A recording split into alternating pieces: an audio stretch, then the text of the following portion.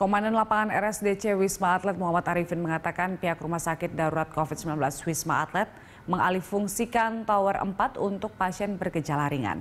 Sebelumnya Tower 4 RSD COVID-19 Wisma Atlet diperuntukkan pasien tanpa gejala. Tower 4 juga dialihfungsikan untuk menopang Tower 6 dan 7 dan hanya Tower 5 yang menampung pasien tanpa gejala.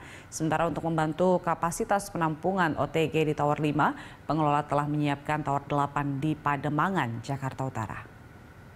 Kita mulai dari Tower 4 ya, Tower 4 ini yang kemarin untuk flat isolasi mandiri Kemayoran, jadi karena kemarin angka dari yang bergejala ringan itu meningkat sehingga ada kebijakan baru dari pimpinan kami koordinator rumah sakit darurat eh, COVID-19 uh, eh, Maijen dokter tugas. Jadi menyampaikan untuk tower 4 ini sementara akan diproyeksikan untuk gejala ringan saja untuk membackup tower 6 dan 7 yang sekarang sudah uh, angkanya sudah di